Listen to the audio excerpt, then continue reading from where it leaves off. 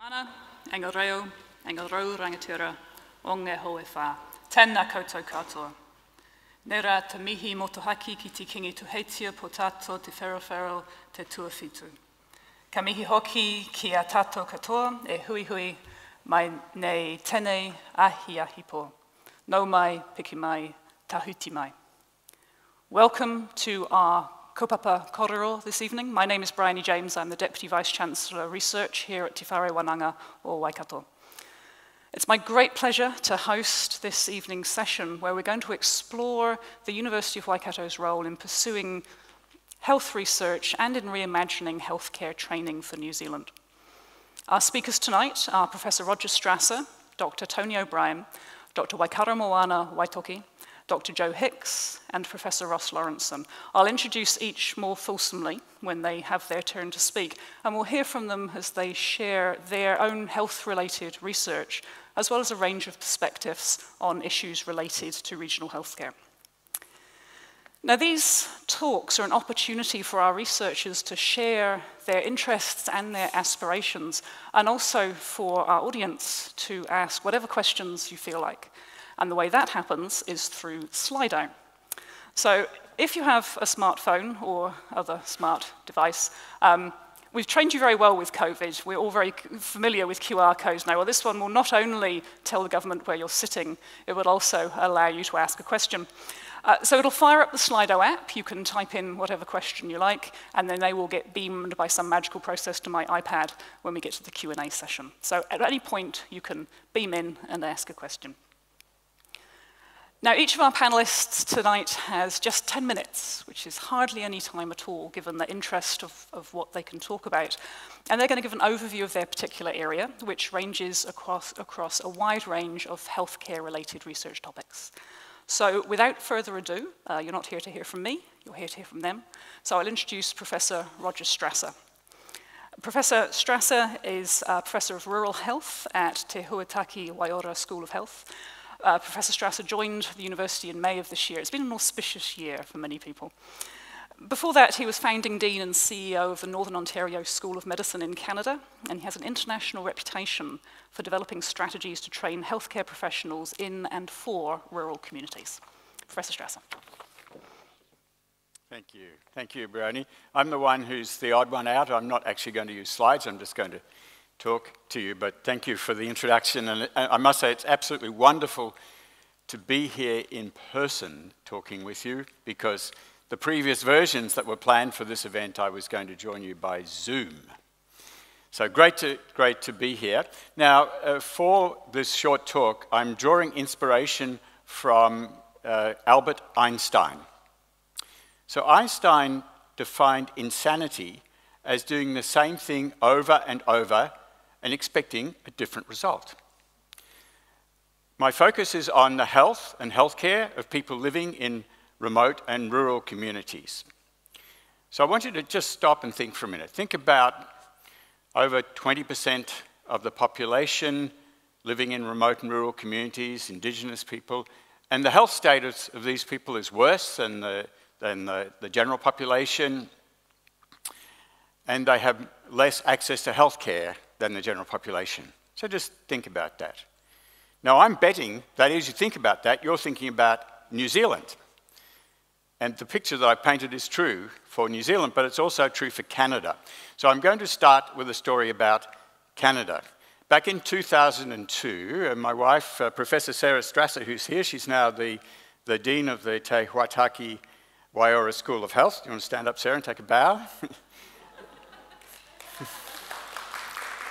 So back in 2002, Sarah and I and our five children moved from Australia to Canada. So we both have a background as rural general practitioners in Australia and found our way into academic medicine. I was the first professor of rural health in Australia. And we moved to Canada, to Northern Ontario in Canada, to join people in Northern Ontario uh, to establish a new medical school, the Northern Ontario School of Medicine, or NOSM.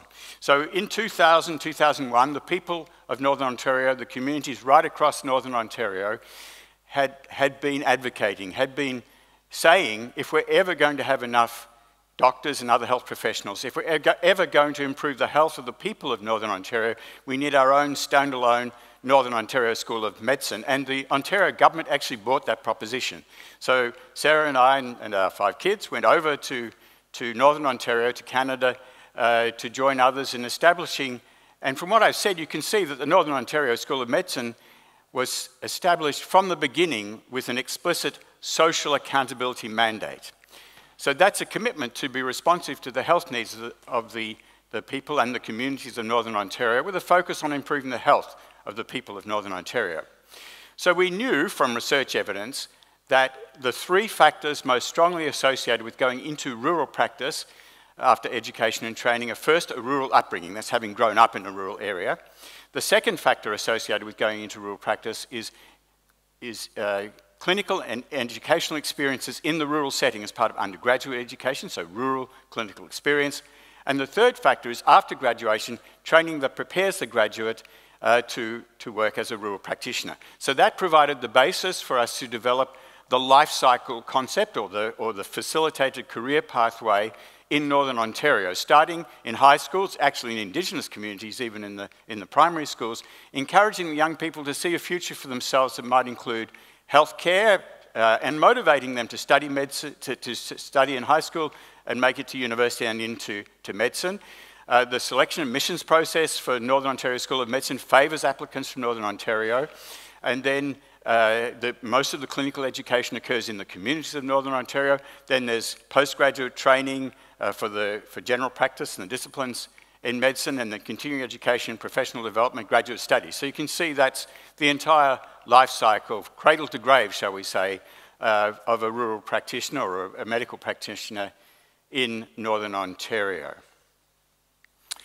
Distributed, community engaged learning is the distinctive model of medical education and health research that we developed in Northern Ontario. So distributed, distributed means over 90 sites, nine zero sites where our students and our trainees and our other learners might undertake part of their clinical learning. So those sites had to be connected electronically, both in real time and asynchronously, and we have an extensive digital library service, which means if you have the internet, you have access to educational resources and information, pretty much the same as if you're in the big city, like in a teaching hospital environment. But the centerpiece of distributed community engaged learning is community engagement, the active participation of communities in the, uh, the development and the delivery of the education programs.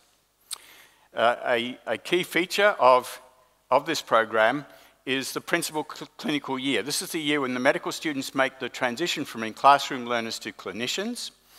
And in Northern Ontario, the medical students leave the two cities, the university cities, and they go to one of 15 other communities in Northern Ontario, and they live in the community for the whole academic year, and they're based in general practice. So you could say the curriculum walks through the door, like the first patient might be a child, that's pediatrics. The next patient might be pregnant, that's obstetrics. The next patient might have a, a surgical problem. The learning outcomes for that year in the six core clinical disciplines are just the same as in the other medical schools.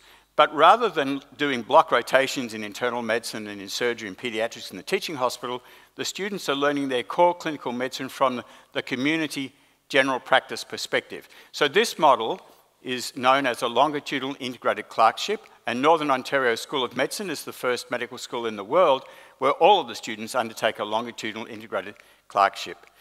This is, as you can see, a real example of immersive, immersive community engaged education. The students are living and learning in the communities where you expect them to, to provide service into the future. This is really learning in context. So, what are the outcomes? Well, it, the school opened officially in 2005, so 15 years later, we can say that 92% of the medical students have grown up in Northern Ontario. The other 8% come from remote and rural parts of the rest of Canada. Very different class profile from the other medical schools in Ontario and in, in Canada. Um, we, the, the, feedback from the students is very positive about their experience. So I, I, think uh, one example from one of the students uh, uh probably sums it up. You don't know it until you live it. You don't know it until you live it. And so, in a way, it's not surprising that 62% of the graduates have chosen to train in general practice, mostly rural general practice. Um, that's almost double the national average for Canada going into general practice. 33% have chosen other general specialties, general internal medicine, general surgery, pediatrics, which leaves 5% if you're doing the maths in your head. Uh, so that 5% have gone into subspecialties like dermatology, radiation oncology, neurology. And that 5% is important to us in Northern Ontario for two reasons. The first is we need the subspecialists in, to provide care in Northern Ontario. They have to go elsewhere for their training, but they're coming back. But the other is that, that uh, it shows that, that Northern Ontario School of Medicine produces high quality doctors who are competitive to match to these very competitive training programs in the subspecialties. And so that was something that was important to us. As I mentioned, uh, there's training for general practice and other medical uh, specialties in, in Northern Ontario. And if you look at the graduates who did their undergraduate and their postgraduate training in Northern Ontario, 94% of them are practicing in Northern Ontario, 94%. And that includes in the small communities. So, talking about the small communities, we did a, a, study a few years ago now looking at small communities that before the school came along, they were really struggling to maintain medical services. Uh, they had between them eight communities, they had 30, 30 full time equivalent vacancies. At the time of the study, they had one vacancy. They had moved from being in crisis mode, trying to fill gaps next week and, and next month, to planning ahead, and they were spending less money on recruitment. And speaking about money, we also have done studies looking at the economic impact of Northern Ontario School of Medicine on Northern Ontario and have shown that um, there's a, a, really substantial return on investment for the government with, uh, with, the, with the school. So, to give an example, in 2016 2017, the budget of the school, that's the taxpayers' money, was $43 million, and the level of new economic activity in Northern Ontario was something over $120 million. And this economic benefit flows through uh, to the small communities, not just the larger, larger centres. So this was very important. We also looked at the, at the social impact, and, and there was a sense really of, of, of community empowerment, summed up by the phrase, if we can do a successful medical school, we can do anything. So that's Northern Ontario, that's Canada. Let's come back now to New Zealand. And here we are in New Zealand, as I painted the picture before, uh, you know, people living in remote rural Maori, Pacific communities, poor, poorer health status, uh, less access to, to health care. There are two medical schools here in New Zealand who are, who are doing the same thing over and over. And they produce excellent doctors, comparable with doctors produced by medical schools anywhere in the world. But unfortunately, only about 20% of them choose general practice as their career direction, and very few choose to serve the people living in remote, rural Maori and Pacific communities. In fact, uh, New Zealand is very much dependent on doctors who've trained outside New Zealand, international medical graduates. So, just to talk about uh, this year, 2020, of the 161 new general practitioners in, in New Zealand, almost half, 44%, are international medical graduates. And there's quite a turnover. So, last year, 2019, there were uh, 521 new New Zealand medical graduates and 102 New Zealand medical graduates left practice, were no longer practicing in New Zealand. Now, some of them were retirements, but many were actually doctors, younger doctors who went to other countries to pursue training and their careers. Uh, so we were left, with, well, that's uh, 102 is about 20%. So we were left with 419 New Zealand medical graduates. There were comings and goings of international medical graduates as well, Uh, which, uh, which was added up to a net gain of 313 international medical graduates. So, putting all this together in terms of supply of medical workforce, New Zealand has a problem. So, what, what's to be done about this? Well, it won't surprise you to hear that the, the solution that I would suggest is a fresh start. Is something new and different, is a socially accountable, community engaged medical school drawing on the experience in Northern Ontario. So, just to put this together, the, the, the, Canada and the New Zealand story, and back to Einstein, I'm sure that Albert Einstein would be very pleased to know that the University of Waikato is seeking to establish a new and different medical school that produces doctors who have the skills and the commitment to provide care uh, for the people in most in need, people living in remote, rural, Maori, and Pacific communities. Thank you. Perfect timing.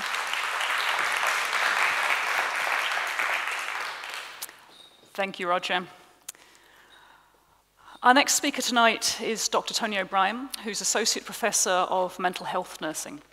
Dr. O'Brien's had a career in mental health nursing spanning nearly five decades, though you wouldn't think it to look at him.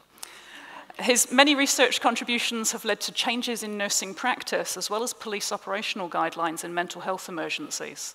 And this year, he was made an Officer of the New Zealand Order of Merit in the Queen's birthday honours.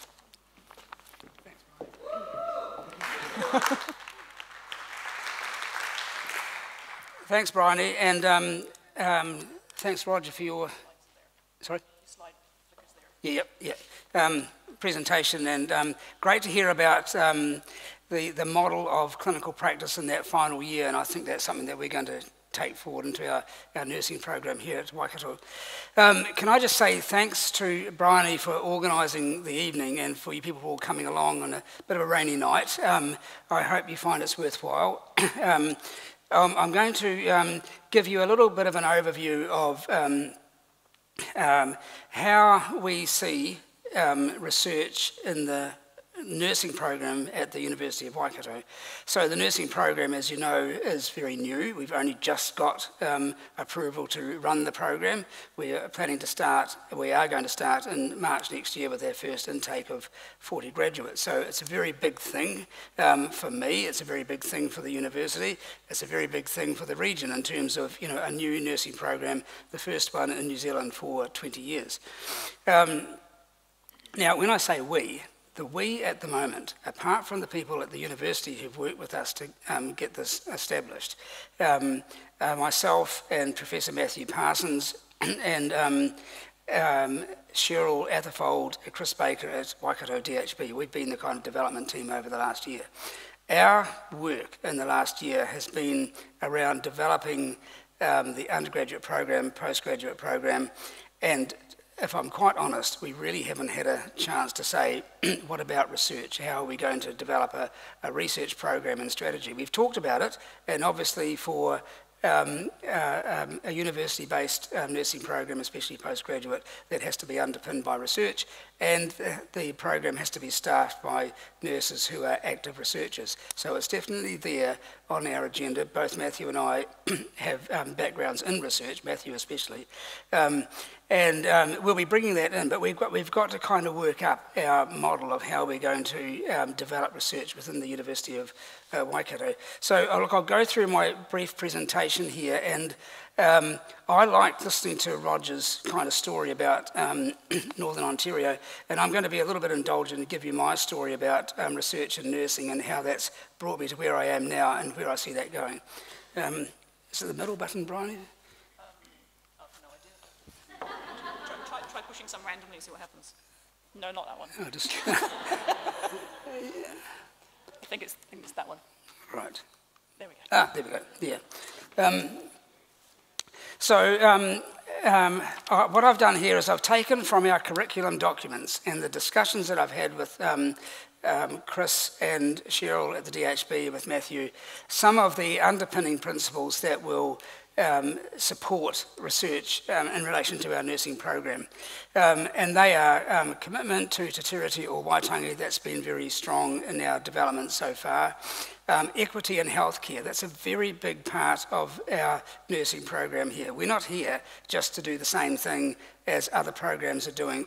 we're here to make a difference, and we want to be held to that as a measure of how well we're doing. We don't want to be measured by just the number of graduates, we do want to be measured by that, but we want to be measured by what difference do we make to healthcare in the Waikato and Midlands region. We know there are inequities in healthcare, we know there are unequal outcomes, we know which populations um, they affect, and we want to make an impact of that through, um, through this program. Population health is a big focus. Um, closely related to equity in healthcare. Consumer engagement, we're not about being experts telling consumers what they need. We want to listen to consumers and help them develop um, solutions to the problems, the health problems they have. We want to be engaged with the sector. That's been a big part of how we've developed our program so far.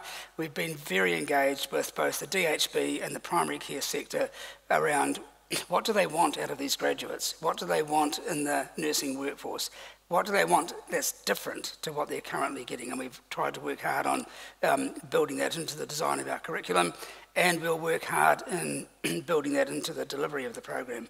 We're also about um, research that translates into practice. We don't want research that um, just generates outputs. We do want that, obviously, in terms of um, publication. We want to put our work out there, but we want research that will make a difference to what happens in healthcare. Um, so some of the areas we've talked about so far um, are, to, are to do um, research that looks at evaluating the nursing programs at, at the University of Waikato.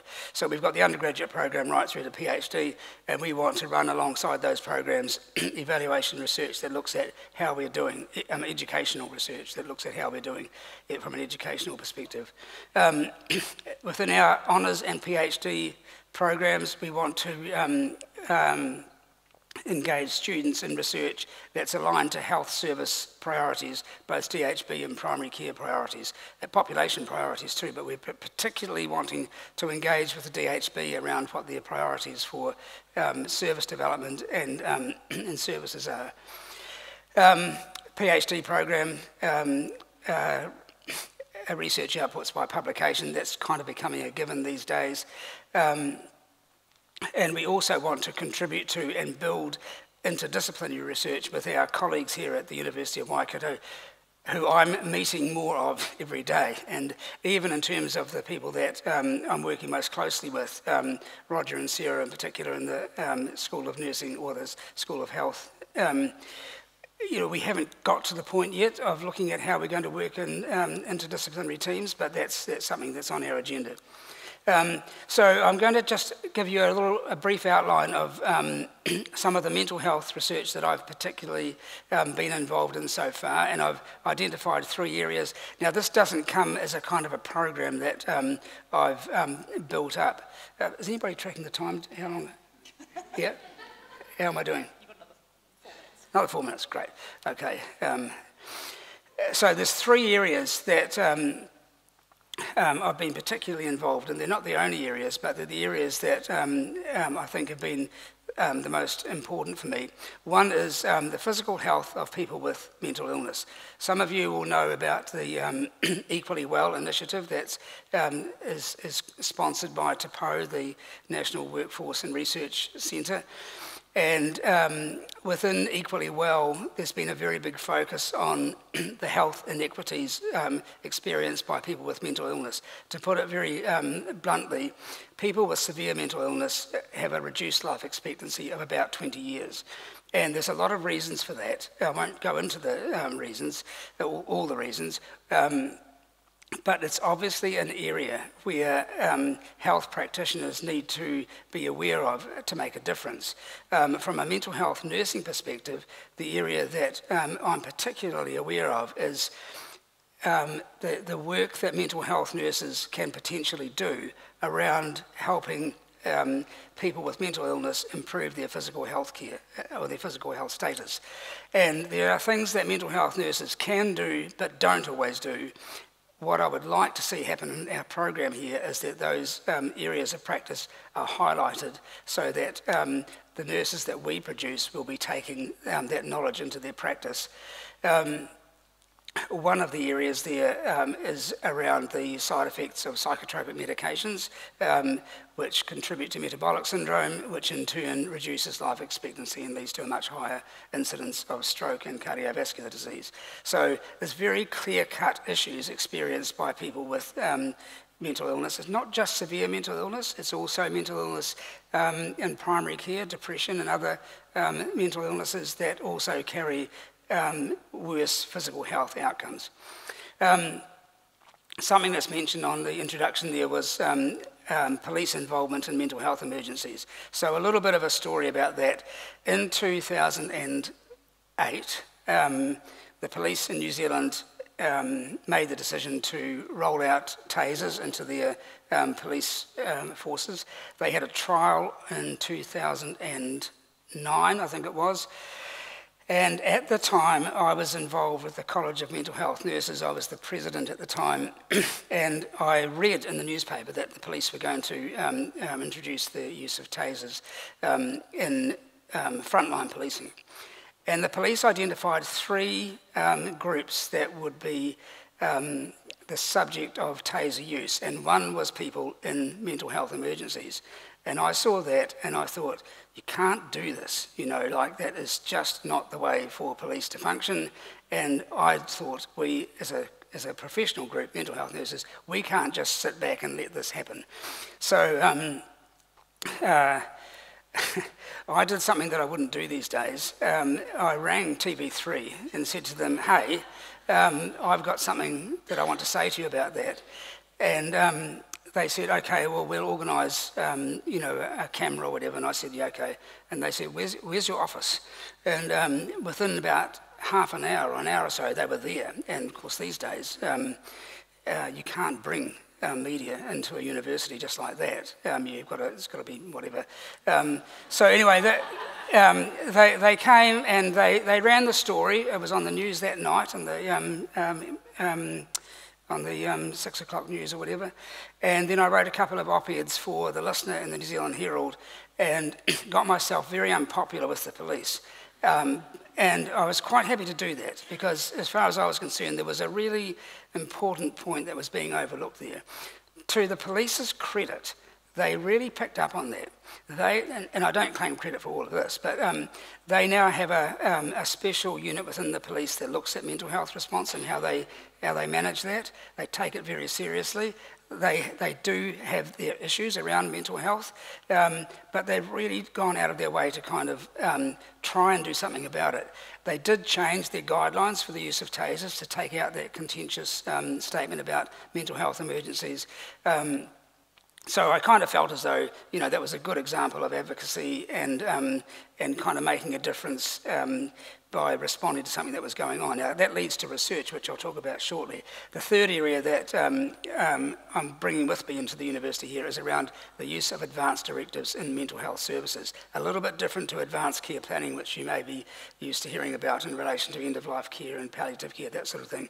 These are um, instruments which allow people to state their preferences for healthcare and mental health emergencies when they may be un unable to um, uh, articulate their preferences and expectations at the time.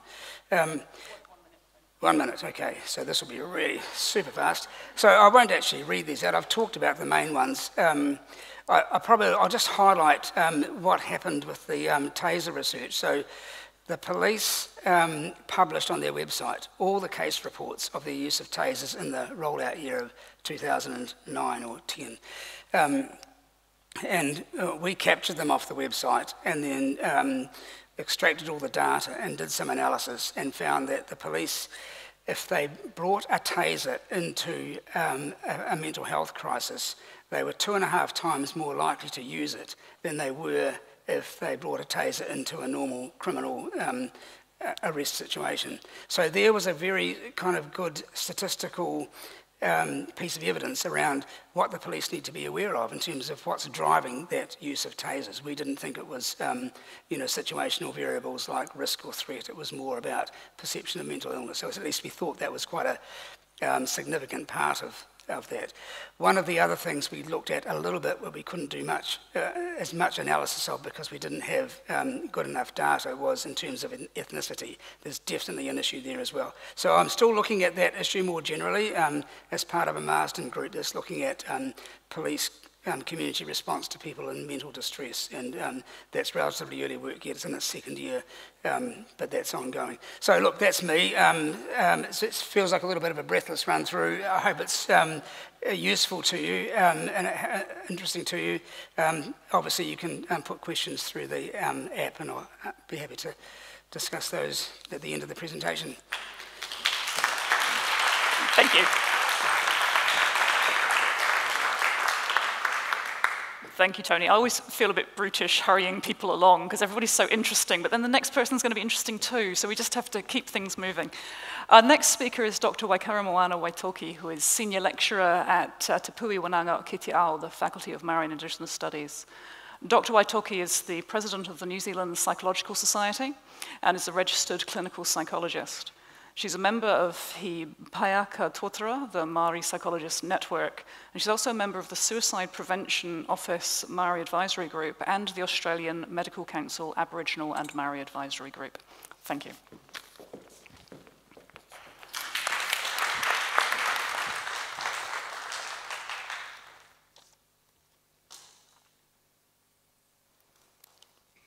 Kia ora.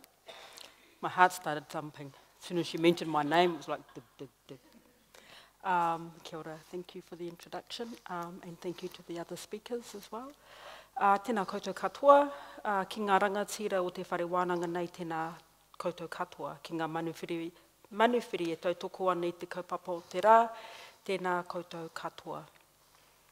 He mihi, kau, he mihi ki aku hapu ki aku iwi ko Ngāti Hako, me Ngāti Mahanga, haere mai, nau mai, haere mai, kuhu mai, kuhu no mai i ngā hūhā o rua wehia.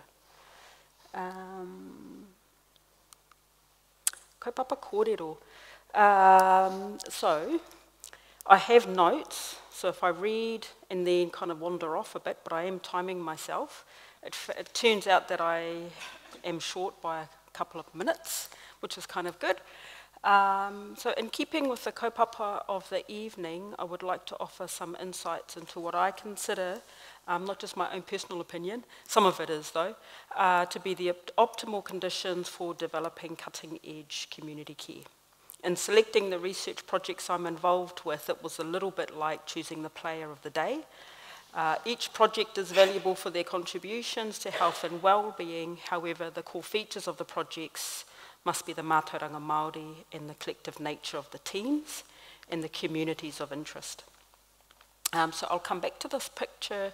This is um, Tongariro uh, Ruapehu Ngauruhoe in Pihanga, so this is the central plateau.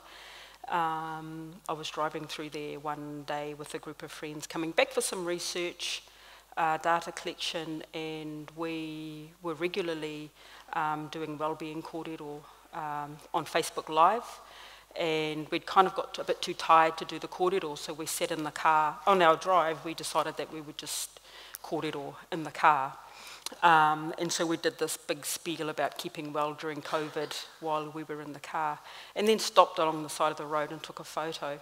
Um, it's quite relevant uh, for the kaupapa that I'm bringing today, which is the, these are the four projects that I've chosen, the embrace of our ancestors, reimagining and recontextualising mātauranga Māori in psychology. So it was kind of cool to have this reimagining um, and reconceptualising in this, this kaupapa. Uh, this image on the left-hand side is an image that my colleague and I developed over the last year and a half, and we've been using it a lot lately um, there, it's a well-being image. Um, it's te and there are six dimensions of well-being that I'll, I'll talk about. And it's just a really cool picture. I thought it'd be quite nice. Um, so how can um, I, I, do want to, want to focus on people and I do want to focus on the shared aspirations that our teams bring to, um, the, to our projects. So how can training, healthcare training benefit from Waikato's world-leading medical research? And I wondered how could I fit into the term medical. I think that health is interrelated, context-informed and environmentally influenced. In this understanding, Mātauranga Māori flourishes and Māori flourish. So I, I offer four projects currently underway that provide core content for healthcare education, research and practice. The first project Rua Mātiti, Rua is unique because it recognises the need to embed mātauranga Māori into all phases of a research project. I'd like to acknowledge Professor Alan Hogg and all the team members for their commitment to building and sustaining relationships with Māori, having the hard conversations, being willing to be flexible and seeing the potential of each part of the research. To understand Māori well-being goes back to the past, to uncover, explore, debate, and cherish those elements of our history that are on the verge of being lost. Well-being requires regeneration and reclamation. Each part of this project is a joy, from finding out about the science of building pa to the reasons particular trees were used and why they were built in the first place. And this means that we have another repository of knowledge that can be added to our understanding, our understandings of well-being.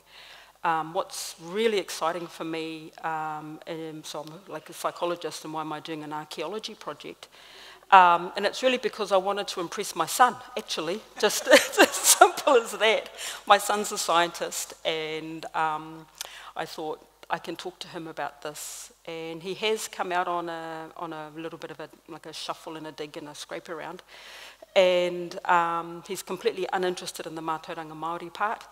Um, and, but the, the beauty of the project is that it really does blend these two knowledge forms, so archaeology, radiocarbon dating, wiggle matching technique, which I'll just say is this incredibly um, amazing technique that does fine-tune the, the, the date of a piece of wood down to plus or minus four years. And so rather than a 100-year time span, which is a couple of generations, we can know that um, the trees were felled at a particular time, and we know um, from records who was there, what kind of conversations were happening, what were people doing, and that, that blending and fusion of Mātauranga Māori is, is uh, really important to the project, and it's important to Māori, and it's important to my understandings of, um, of well-being uh, and the fact that we are looking at kōrero and whakapapa pūrākau, the way that we hold knowledge, the way that we transmit knowledge uh, is, is something that I'm, I'm really keen to uh, use to inform psychology.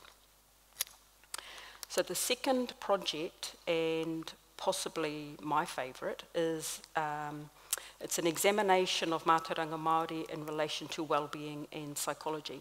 And so from the very early days of my, this is a story I've told, it's the same song sheet, um, uh, training in psychology is to really be uh, at odds with my Māori cultural identity.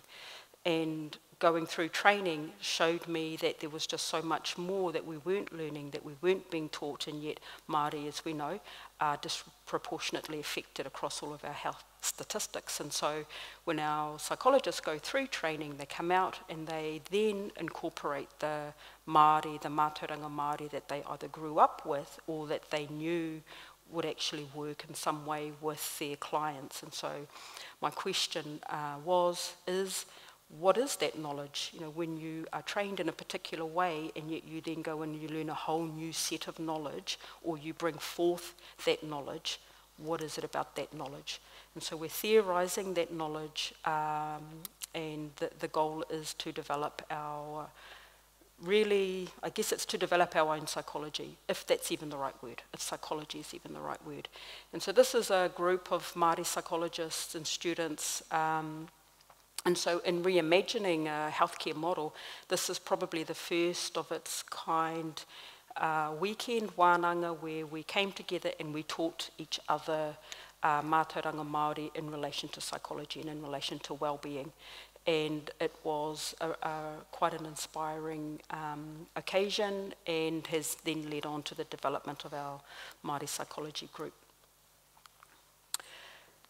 So in thinking about well-being pathways, um, the six that we have here is language, creative arts, spirituality, genealogy, family and environment.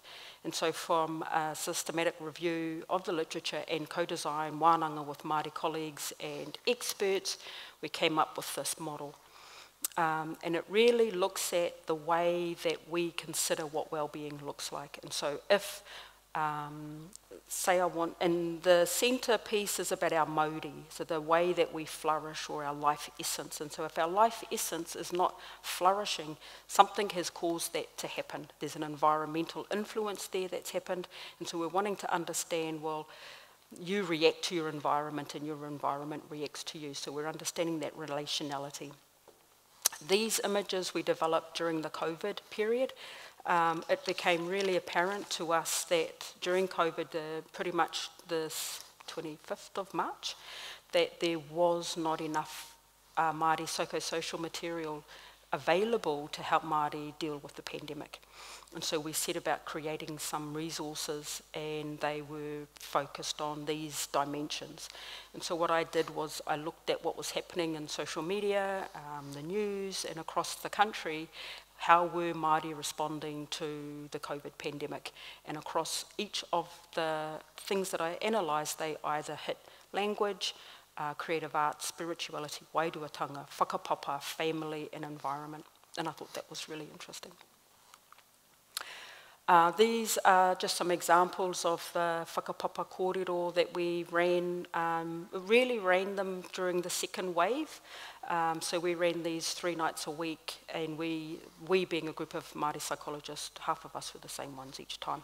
Maybe we were like repeating, repeating that. Um, and we just talked about some of the topical issues that we felt were relevant for Māori, and it was targeted at consumers. Uh, we weren't interested in having conversations with ourselves. So we talked about time and aroha. We talked about rangatahi navigating COVID. We had psychologists in Australia. So we talked about all these, um, what we felt were the core issues for Māori. Oh, geez. Okay. And we did this. we did more pictures, developed some models. Um, the, the, I just want to mention this project here, which is our Raranga Raranga. This is our Hapu Ora Māori Wellbeing um, project, which has started, uh, actually started during the COVID period. Again, this is deeply embedded in Mātauranga Māori, and I'm just going to say that in the recent weeks we've had um, some research that's come out that talks about the way Māori are more, less likely to receive treatment for diabetes, or the way that Māori with gestational diabetes are not given options for, for treatment, and so those are key for us. And then the last one, um, which is about to start, is Wero, working to end racism and oppression. Um, I guess this is really about the way that structural racism, inequities for Māori exist and the, the things that need to happen, the change that need to happen to address those issues. I've run out of time. Thanks. Sorry, hold two minutes. Thank you. Thank you, Dr. Waitoki. I was chatting earlier today to Sunny Collings, who's the CEO of the Health Research Council, HRC. And it was quite interesting, actually, because our conversation really touched upon what we're seeing here tonight, which is the whole breadth of what is needed to advance health research in any context, let alone um, in Aotearoa, New Zealand. And, and so with that in mind, what we're going to see now is, is really swinging to, to the other end of the health research spectrum and the, and the hard-out biochemical, biomedical research. So Dr. Joanna Hicks, Dr. Joe Hicks, is a senior lecturer in biological sciences. Uh, she works at the interface of biochemistry and infectious disease.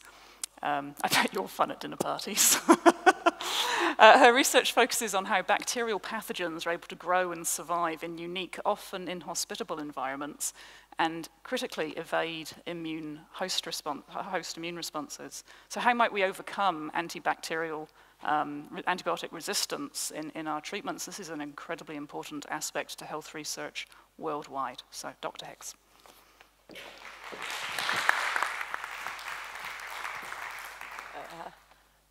Tēnā koutou katoa. Um, thank you all for um, being here tonight to, to listen to us talk about um, our research. So we present our research a lot at scientific conferences, but very rarely do we have the opportunity to present it to such a varied audience. So thank you very much for coming along.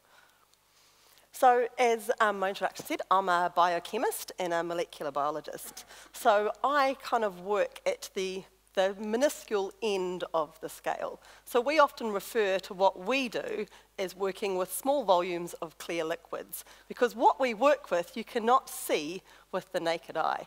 So we kind of um, are at this, oh, we go back one, so if we work at kind of the molecular or like atomic level, and so kind of to put that into context, I've kind of shown here, so um, shown in with the orange wiggly lines is DNA and what DNA kind of looks like, and then around that is um, a protein molecule. So this is made up of lots of different atoms, and these are the things that keep our cells going. So everything that is happening in your body at the moment is driven by these molecules that we can't see. So lots of our research is involved in looking at exactly how these kind of protein molecules work um, with a focus on infectious disease.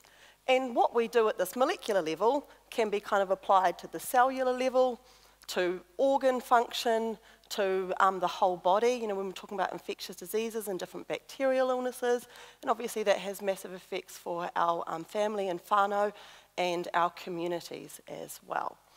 So I started off um, here at the University of Waikato in um, doing my PhD. And so my PhD with Professor Vic Arcus was looking into um, tuberculosis and the ability of tuberculosis to kind of persist inside your lungs.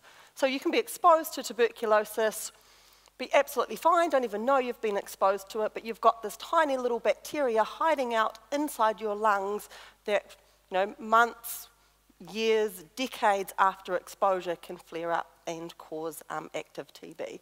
So what we were doing was trying to look at these kind of protein molecules within the bacteria to try and see if we could work out what exactly was causing it to kind of hide out in our lungs.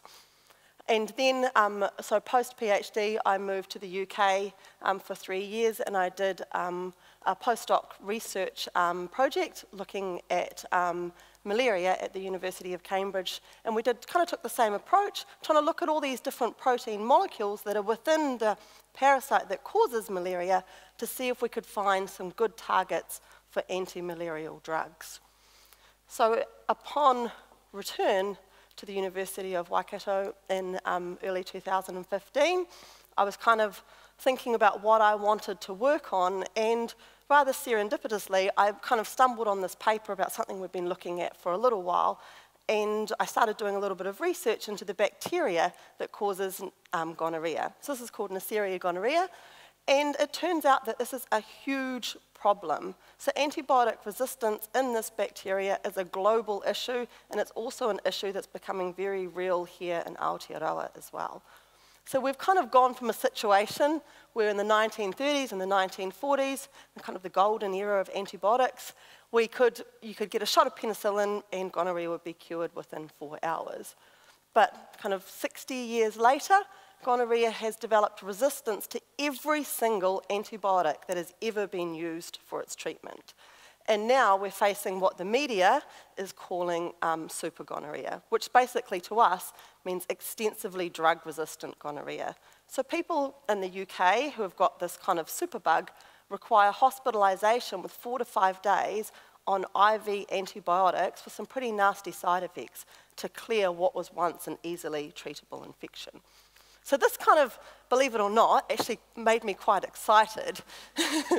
I never ever thought I would ever say that, but I became really excited about it because I thought this is kind of a real problem that we can actually start to grapple with and work in the lab. So the aim of our research in this project is to determine the molecular details of these key proteins. So you can kind of think of them as like molecular machines in the cell. Because if we know what they look like in three dimensions, as shown up here, we can design chemicals to bind into them and kind of jam them up and stop them from working. And if some of these molecules are absolutely essential for the bacteria to grow and survive and infect human cells, if we can design something to kind of stick in there and stop it from working, we potentially have a new um, antibiotic. So we can, we can take this approach to determine the molecular details and design and screen chemicals to bind in these molecules and then we can take these actually into the laboratory and use them to screen against um, the gonorrhea bacteria and to see if it kills the bacteria. And we can also test the ability to affect, infect human cells as well. So shown in purple down the bottom there is a human cell in three dimensions, and the little um, red blobs on it are the um, bacteria that causes gonorrhea, and they're stuck to the outside of that human cell about to invade and infect it. And you can see on the other picture there, you can imagine if you take like a ball and cut it in half in the middle, what you're looking at is you've got the human cell around the outside, and all those purple dots in the cell are the bacteria that's infected the cell. So even if we find some compounds or some chemicals that kind of stop these enzymes from working, so if we find something that, say, for example, doesn't necessarily kill the bacteria, but if we can prevent it infecting human cells, this is a pretty good um, option as well. So I kind of wanted to put this into this, into this wider context of how, um, because we're talking about community kind of healthcare, and I work, and how my work at that kind of molecular level can actually help to contribute to addressing sexual health inequities and hopefully better health outcomes. So I kind of made this kind of continuum.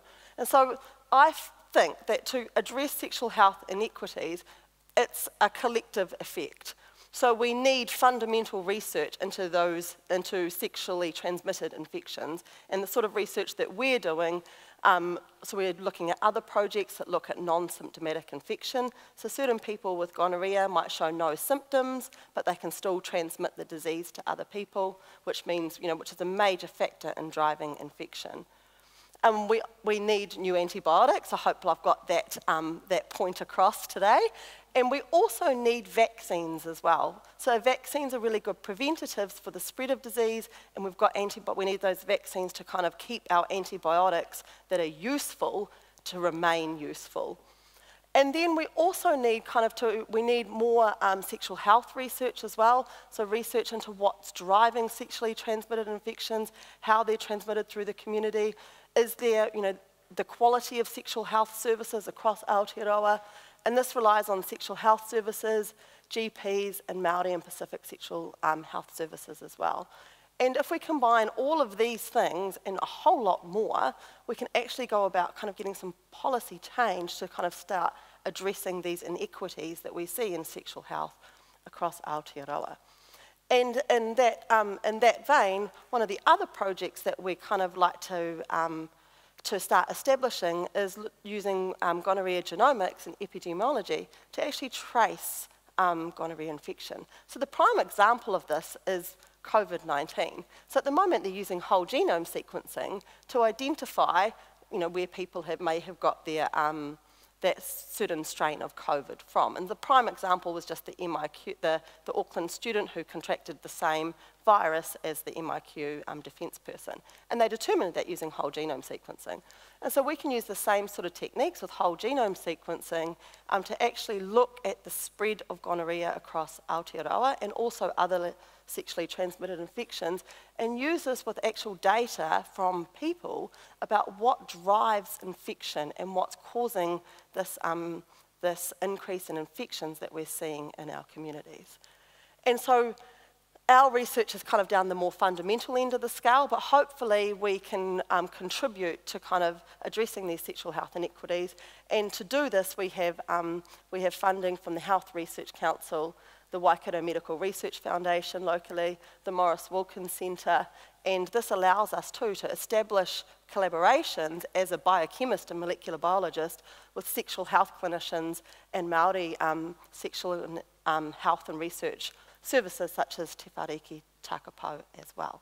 So hopefully next time I might be able to actually report on something that we've actually designed some of those chemicals to, to bind in those enzymes, and we might have tested them in the lab by that point as well.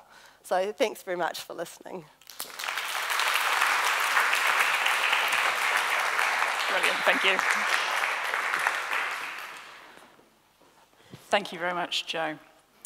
So our last panelist tonight is Professor Ross Lawrenson. Uh, Professor Lawrenson is Professor of Population Health, and he divides his time between the University of Waikato and Waikato District Health Board, where he is Chair of the DHB Research Advisory Committee and President of the Waikato Postgraduate Medical Incorporated Society. He's also a Pharmac board member and is active in health services related to cancer, diabetes, and chronic conditions. Professor Lawrenson.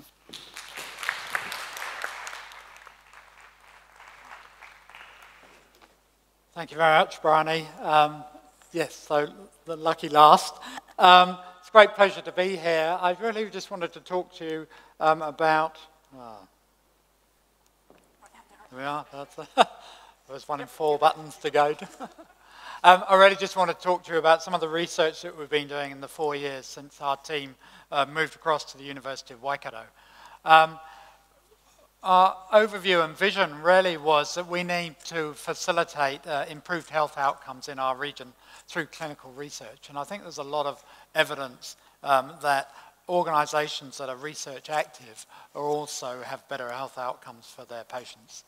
Um, and as part of that, we really wanted to complement the work that our excellent health partners, both in primary care but particularly in the, in the hospital sector, have been doing, um, and providing support through the university um, for the work that they do.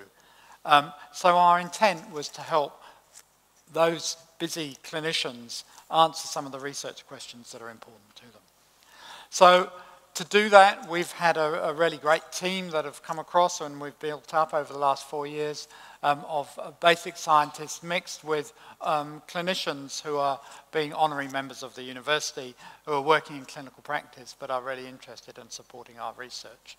Um, and you know, I would note that uh, you know, there's a range of um, expertise that we need in order to do that research, uh, including qualitative researchers, biostatistics, health economics, um, basic sciences, as Joe was talking about, um, health psychology, um, and health services research.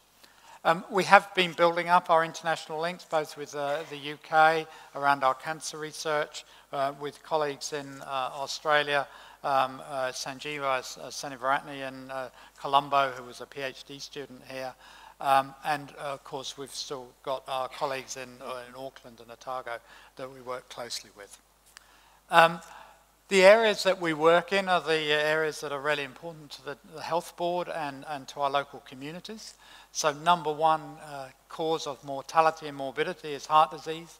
So we've been really lucky to attract um, Professor Adam El-Gamal, um, as an honorary professor here. Adam uh, was um, uh, head of cardiac surgery at King's College in London uh, and came to the Waikato over 10 years ago now and has really built up a, a unit that is um, only second to Auckland at the moment in size of in size and capacity um, and is growing rapidly in the expertise that they're doing.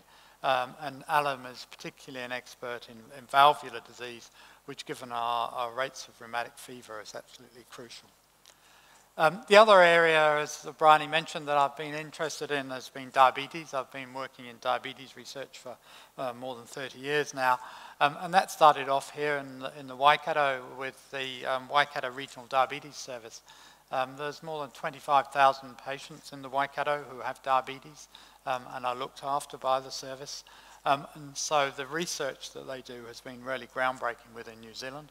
We're very lucky to now, um, the lead researcher there is uh, Dr. Ryan Paul, who's just got a Foxley Fellowship through the university uh, and the HRC, and he's been working with uh, Dr. Lynne Chepulis, um, who was on TV yesterday with some of her research that um, uh, Moana um, kindly mentioned.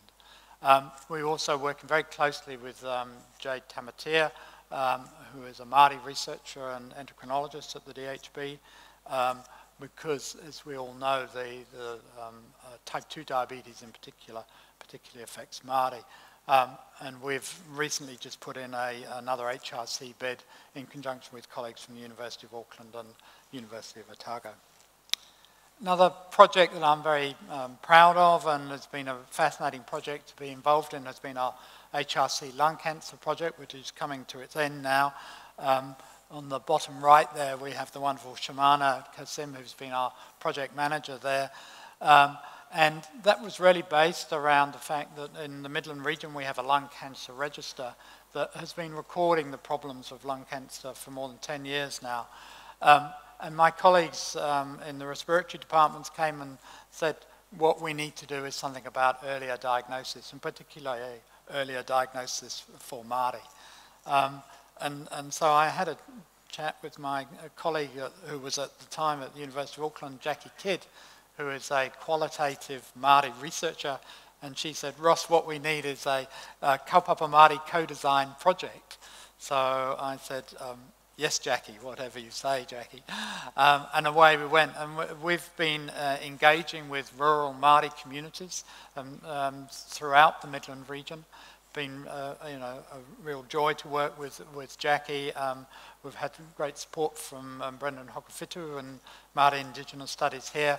Uh, Dr. Anna Rolleston from the Bay of Plenty and Dr. Rawiri Keenan have, have led this um, Kaupapa Māori um, co-design process where we've been listening to the stories of Māori um, patients around cancer and lung cancer and then helping them design interventions um, that were suitable for their communities. Um, and some of those publications are, have been coming out recently. The other area that we've been working has been in breast cancer. Um, Waikato was the um, pilot area for the breast cancer pilot back in the 1990s. Um, and at that time, we attracted Professor uh, Ian Campbell, who's the leading breast surgeon in the country. Uh, Ian set up the um, breast cancer register here in the Waikato. Um, and out of that register, we've had a number of PhD students. Um, we had a big HRC um, project grant.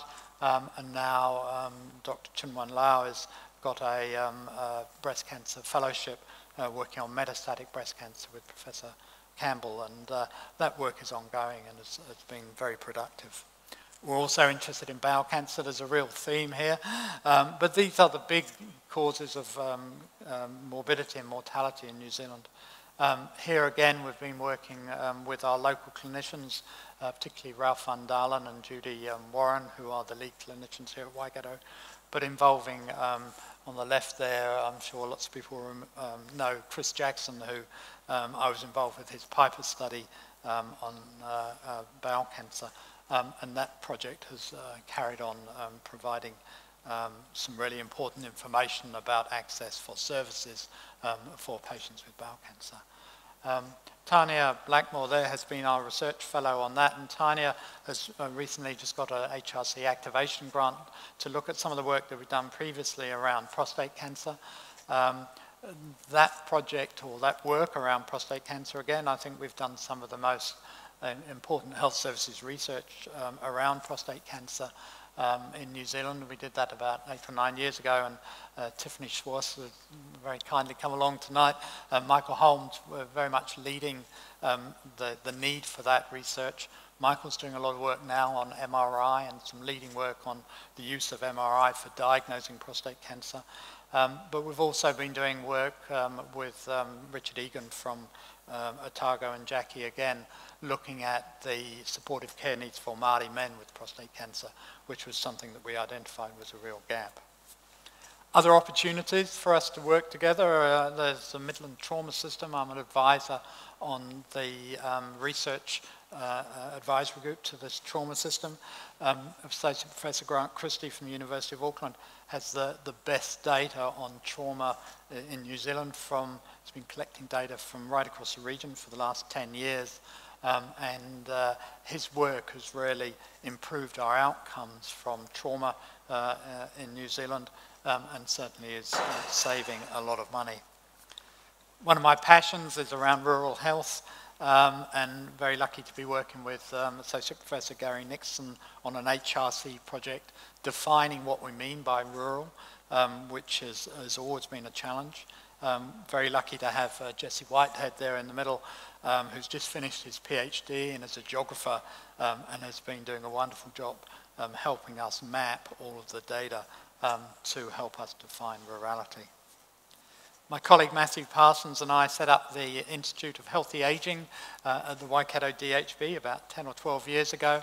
So it's great joy to have Matthew um, come with Tony into the, um, uh, uh, the university. Um, aging uh, population is the big tsunami that is uh, facing the health services at the moment. We're going to have a 70% increase um, in the aged population by 2030 um, and the, the health demand that that creates for the health service is crucial. So Matthew's work on uh, maintaining people out of hospital um, and uh, in the community is actually a crucial part of that. I think the other area that we should probably talk about is health technology. We are a leading centre for that. We've got Dr. Ruth Large there is um, a, a, ED clinician at Waikato Hospital, um, but she's also um, the national clinical advisor on telehealth to the ministry uh, and is really passionate about the use of telemedicine. Um, and below there we have um, uh, Associate Professor Amanda Oakley, who um, uh, the Waikato may not, you may not know this, but it's the center, World Center for Teledermatology.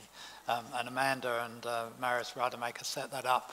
Um, and now um, you don't go and see your doctor to have your um, skin lesions diagnosed, you have a photograph taken in the clinic, and then it gets sent to a radiologist. And Amanda and her colleagues are, are reporting on um, lesions from all over the world with her teledermatology service. So that's just a brief view of some of the key things that we're doing at the moment. Um, from our point of view, health is absolutely crucial to this region. Uh, we have something like 40,000 health workers in the region. Um, we get over $3 billion a year comes into the health services.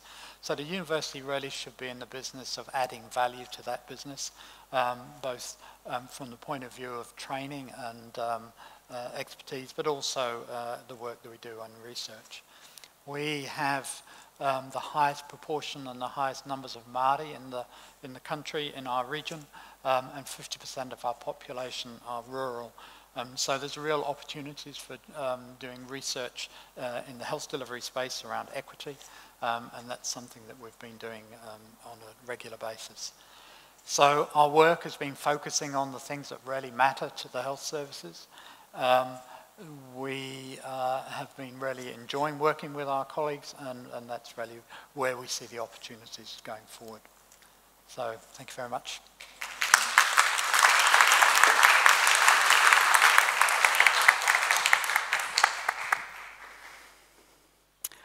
So we have some time now for audience questions, which have been coming in throughout the evening. Um, there's a few very specific questions here, which I might leave go if, to have, if we have time. And I'll start with some of the more general questions. And this one is a, I'm going to pick this one because it appeals to my particular biases as well. Um, in a world that's trending away from fact, which is indeed the case, I think, you know, like anti-vaxxers, COVID deniers, etc., how do you plan promoting an evidence-based healthcare mindset and treatment methods? And I think there's probably an answer there from each of you. So what do we do in a post-truth, post-COVID world? Any one of you, just dive on in. I, I, think it's been really interesting around cancer. It's, um, Chris Jackson spent 10 years trying to convince people with evidence that we should be doing something about various cancers. Um, and then he decided that the politicians actually don't listen to science and evidence, what they want are stories. Um, and so we had a, a cancer um, meeting uh, 18 months ago where we brought along Blair Vining, who was dying from bowel cancer, and he stood up and his wife told of the experience they'd had in the health services. And out of that, we got a cancer agency. We had the Minister of Health and the Director General of Health there, um, and 400 people. And it was the power of the story rather than the power of the graphs that I think has changed mind. So I think we have to use both. I think we have to have the evidence, but I think we need to uh, actually get the stories uh, behind that evidence in mm. order to change um, the way we think about things. Yeah, I would say there are different concepts and understandings of what constitutes evidence. Uh, it reminds me, uh, years and years ago, Michael Marmot, so Michael Marmot, who's uh, known worldwide for his leadership uh, in the social determinants of health and uh, chaired a, a, World Health Organization commission on that topic. Before he did that, he chaired a commission for the UK government looking at the relationship between alcohol and health. And, uh, and they brought, uh, this commission made a number of recommendations to the British government, and then he was rather dismayed to find that, that uh, these recommendations weren't actually just fully implemented. Um, and that led to him publishing a paper in the British Medical Journal called Policy-Based Evidence or Evidence-Based Policy. um, mm.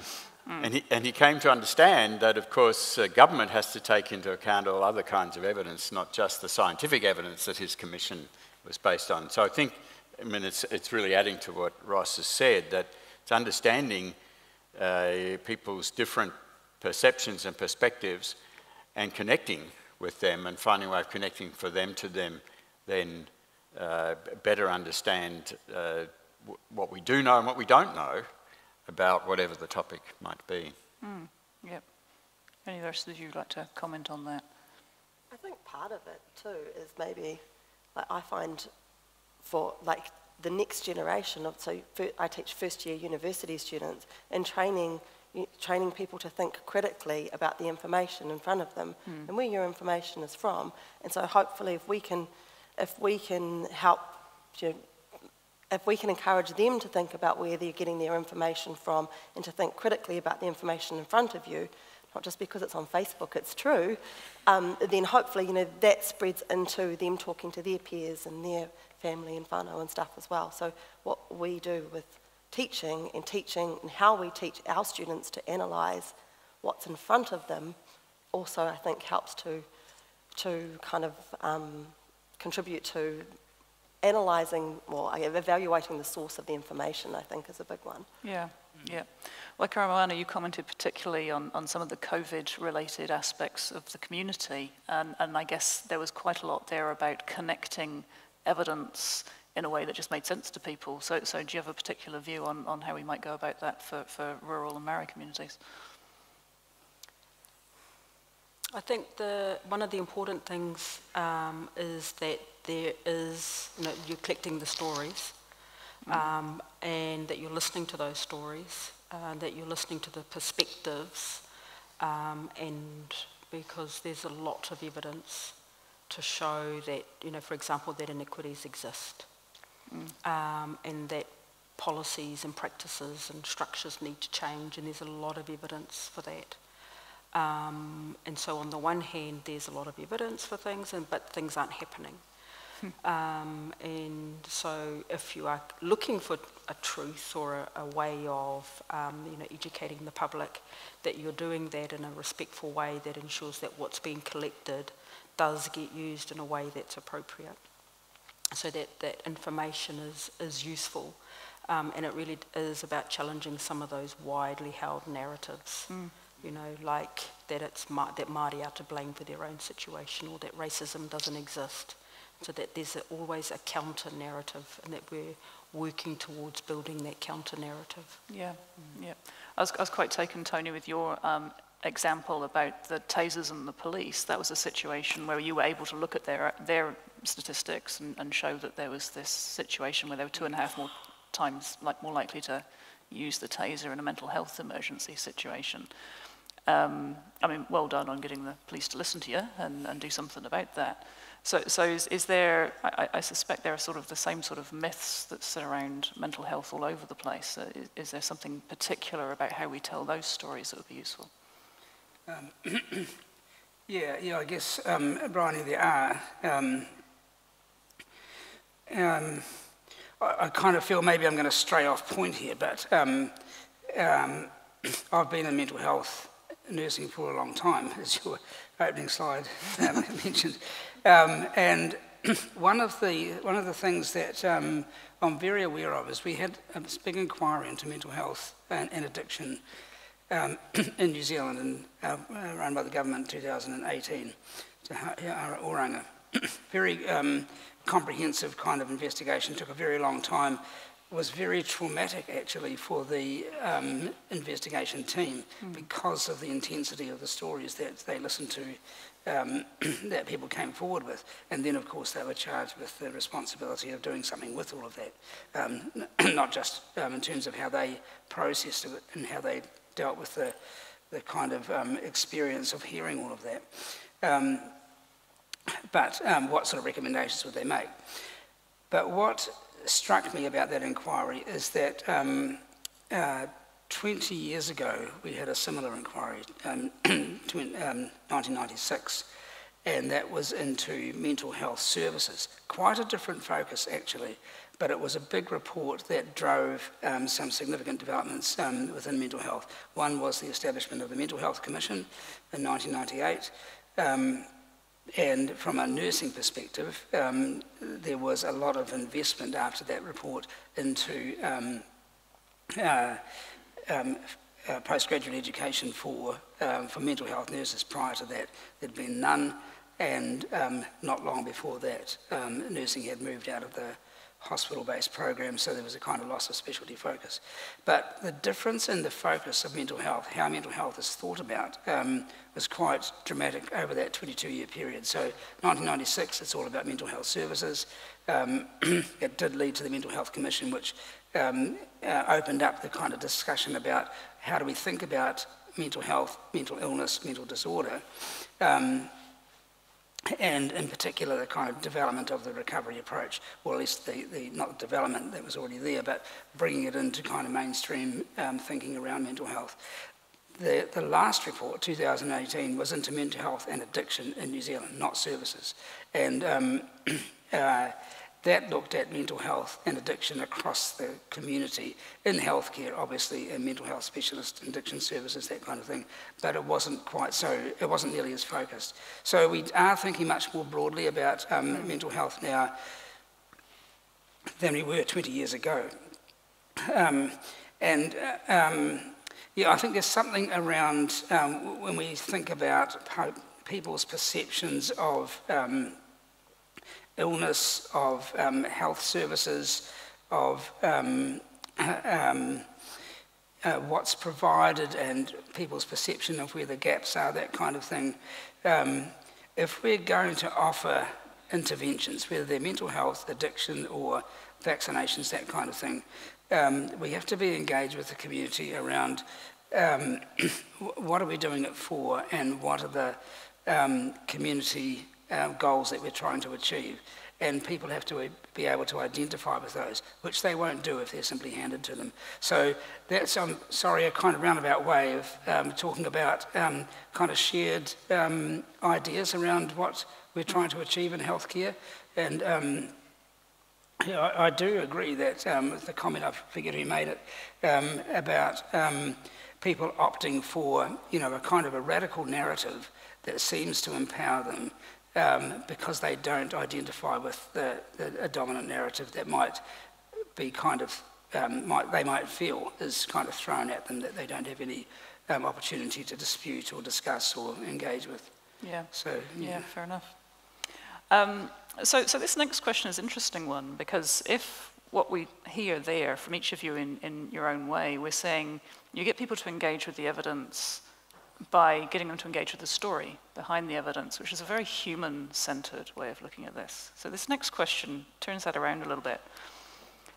How are we going to incorporate artificial intelligence into healthcare in New Zealand? And, and you can see where big data sets are going to have a massive impact in, in the hard sciences and now in the social sciences.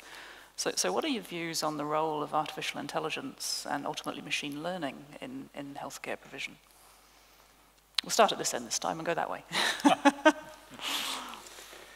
well, I guess I see uh, any kind of use of, of computers and, and uh, uh, artificial intelli intelligence, machine learning, etc., as, as powerful tools that, that can uh, be used uh, to enhance the quality, the effectiveness of, of healthcare that's provided they can also be, uh, become a kind of uh, a, a smokescreen or a substitute or, or um, and, and in the, whether intended or not, in the process dehumanize uh, the, the experience of people who have health problems and maybe present as patients or clients of healthcare providers.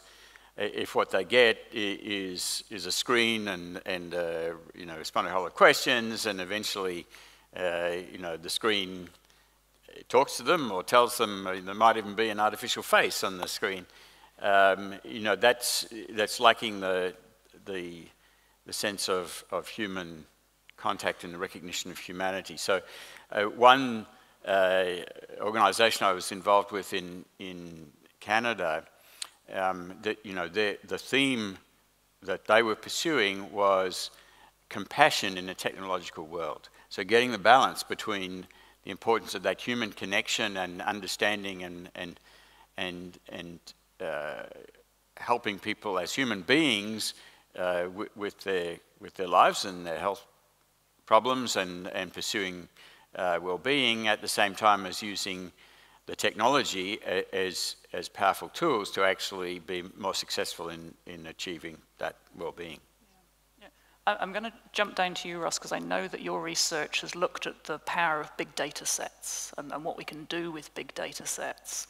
Um, so, so where do you see the role of AI sitting in healthcare? certainly the opportunities around big data sets are huge, um, you know, and we're beginning to do that. Um, New Zealand has some of the best computerized general practice records. Mm. You know, we have 17 million GP visits a year. Um, you know, so when you've got the power of those data and you can link those to laboratory data, to other data, um, you know, you need AI and the, and the big um, uh, um, data computing to do that. Yeah. But I think, you know, in the area of diagnostics, you know, um, Amanda Oakley's got 300,000 pictures of skin lesions, you know, and she's working with the AI people about, you know, actually computers can make a better diagnosis of your skin lesion than a doctor can. Um, so, you know, it's a learning process for the, uh, the computer to learn the different um, lesions that are going on there. Yeah. AI in um, imaging, you know, your MRI and your um, CT scans now, you know, they're not real pictures. They're pictures that the computer have generated from the information that's coming into them. So yeah. AI is already here. It's, um, you know, being um, vastly incorporated in what we're doing. Yeah. Um, and we just need to embrace it and use it without losing the human touch of, you know, if you've got a diagnosis, you still then have to talk to somebody about the implications of that and what that means to you. Mm. Um, yeah. Jo, we were talking earlier about um, PCR sequencing and genome sequencing. The, the, amount of data that we can generate from those now, it, is it reliant on artificial intelligence to be useful, or is it, is it not that far along yet? I would say it's not that far along yet, but you definitely need massive computing power mm. um, to be able to um, to be able to analyse like massive genome data sets. Yeah. But I think the, one of the biggest problems is data storage, yeah. so and data sovereignty, and who you know like and um, privacy of that data and stuff as well is a yeah. is a big issue that I know lots of people here at the University of Waikato are, mm. are um, grappling with, I guess. Yeah, absolutely. Any other comments about the role of AI? Um, if I could just say, uh, if my colleague Matthew Parsons was here, he'd have quite a bit to say about AI. It's uh, an area of interest for him, and Matthew's also very um, familiar with working with um, big data sets, and so, and he's quite keen for us in the um, uh, in the, the, nursing school. I'm calling it the nursing school. It's not the nursing school at the moment. Um, to to kind of incorporate some of that understanding with um, within our research programs and in our teaching of students. I'm not an AI person, so I won't be part of that. But I'll be a, a kind of um, um, um an enthusiastic kind of learner, I guess. Um, yeah. So uh, yeah, definitely something that's here, as, as Ross says, and it's for us as, um, for those of us who are clinicians, um, to learn about what AI can do um, to help us in our work. And then it's for us as clinicians to still do that work of talking to people, um, understanding what they're experiencing, and kind of helping them work through what their options are. Yeah. I'm, I'm, mindful of time, and there's a couple of very short, punchy questions here that suggest to me that there's people after specific pieces of information about the nursing program, so I'm just going to jump straight to those. Um, how many students do you expect to enroll in nursing in the first year of the nursing program? Um, for, uh, 40 students, maybe more. maybe oh, we're, we're, no, no more. We're not allowed to enrol anymore. 40. well, well, it depend, depends how you split the Fs. But, uh, yeah. yeah, okay, fair enough. yeah. Yep, so, so, so 40 is the answer to that question. um, and, and also, is graduate nursing training for graduates of the nursing school only? Um, most of it is, but the graduate program um, is not just for nurses. So um, some of the um, some of the programs um, and some of the courses will be multidisciplinary. Fair enough. Um, and a quick question, what is the population of Northern Ontario? Northern Ontario, it's uh, just under 800,000 people.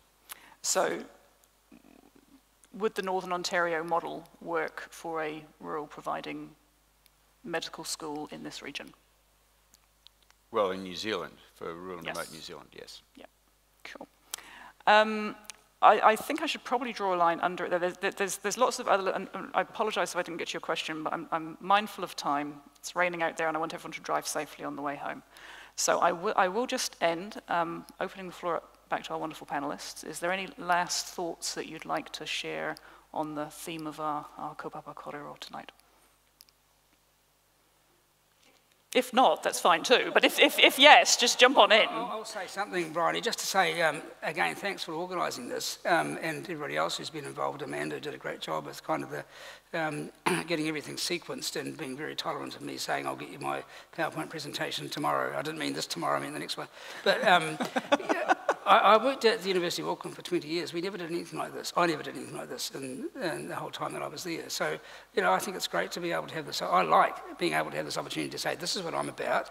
What do you want to say about that? Or, you know, um, be here to kind of um, engage with, uh, with the community. So, yeah, I think it's a great, um, uh, a great event also to actually hear some of my colleagues talking about their work. Unfortunately, um, one of the problems in the university is you kind of head down doing it and not really talking to your colleagues about what they're doing. Yeah. One of the great delights of my role as Deputy Vice Chancellor Research is I get to stick my nose in anywhere I like and organise yes, things like yeah. this. So I get a really easy job and I get to speak to wonderful people like you. So thank you all very much.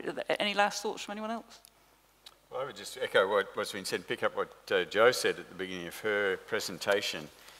Um, you know, it's, it is as Tony said, not that common at the moment uh, for, for those of us in, in, uh, in health research and the universities really to, to present to a, a, mixed audience actually what we do. And I think that that's, you know, back to that first question about evidence and so on, the more that there is that, that opportunity to share uh, the work that we do and, and, and interact with people who have an interest or would like to develop an interest and, the, the, I think the better for all of us, really. So I, I certainly encourage this to be a continuing uh, series of events for University of Waikato. Funny you should say that.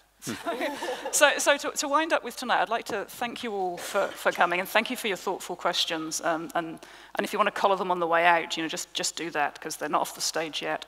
Um, and I'd, I'd, invite you all to, to, follow the University of Waikato on Eventbrite and Facebook, apparently, um, which is social media, so I don't know anything about it, um, for an update on our next public lecture. Now, the Kaupapa Kōrero series, this is the, the last talk for, for this year in this particular series, but it will be starting in 2021 with an extensive series of Kaupapa Kōrero.